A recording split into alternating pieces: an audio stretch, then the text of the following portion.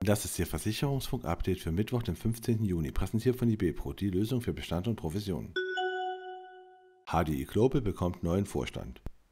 Ende September wird HDI Global Vorstand Jens Wohltat in den Ruhestand eintreten und seine Aufgaben an David Hallen übergeben.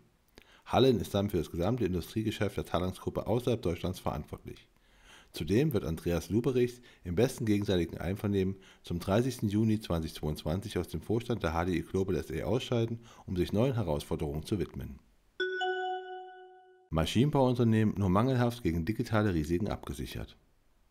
Nur jedes dritte Anlagen- und Maschinenbauunternehmen verfügt über eine dezidierte Versicherung gegen neue Risiken der Digitalisierung. Das geht aus der Hiscox Smart Manufacturing Umfrage hervor.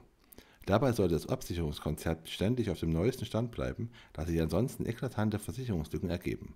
Denn laut Hiscox Schadenpraxis sind digitale Risiken inzwischen Ursache für drei Viertel der entstandenen Schäden im Bereich Smart Manufacturing. Die Bayerische erweitert Angebote der Gewerbeversicherung.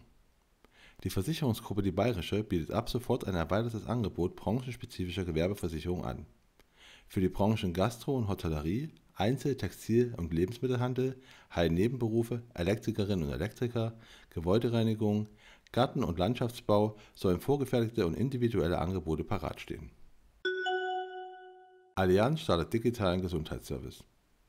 Allianz Partners Deutschland bietet Kunden in Zusammenarbeit mit dem Startup AirDoctor einen neuen digitalen Gesundheitsservice an. Dadurch sollen Versicherte im Krankheitsfall im Ausland einen Arzttermin vor Ort vereinbaren können. Überdies sollen ihnen keine Kosten für eine medizinische Behandlung vor Ort entstehen. Die Bezahlung werde direkt zwischen AirDoctor und Allianz Partners Deutschland abgewickelt.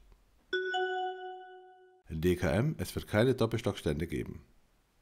14 Kongresse, 4 Themenparks, DKM Night, Warm-Up, Speakers Corner und neue Formate. Die Vorbereitungen laufen in allen Bereichen auf Hochtouren. Doch Doppelstockstände wird es in diesem Jahr nicht mehr geben, stellte der Veranstalter heraus. Der Grund? Während der hybriden DKM 2021 hätten viele Aussteller die Vorteile von Systemständen kennen und schätzen gelernt, so DKM-Geschäftsführer Konrad Schmidt.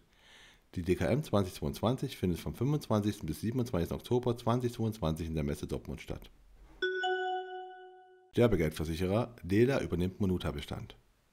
Der niederländische Sterbegeldversicherer Monuta zieht sich aus Deutschland zurück. Versicherungsbestand und Kundenservice der Düsseldorfer wird der ebenfalls in Düsseldorf ansässige Versicherer Dela übernehmen. Für Vermittler und Kunden soll sich nichts ändern. Bis Jahresende ist Monuta noch Ansprechpartner. Und das war Ihr Versicherungsfunk-Update für Mittwoch, den 15. Juni, präsentiert von IBPRO, die Lösung für Bestand und Provision.